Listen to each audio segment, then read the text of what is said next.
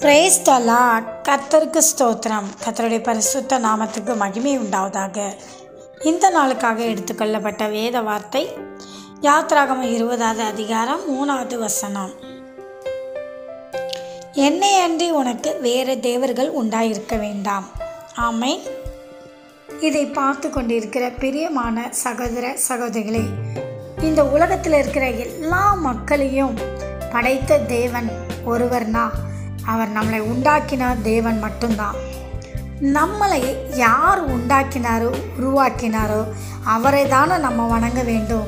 மற்ற தெய்வமெல்லாம் தெய்வம் அல்ல.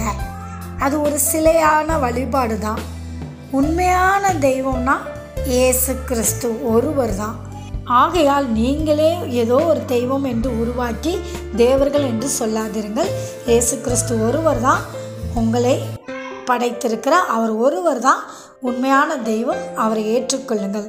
ஆமேன்.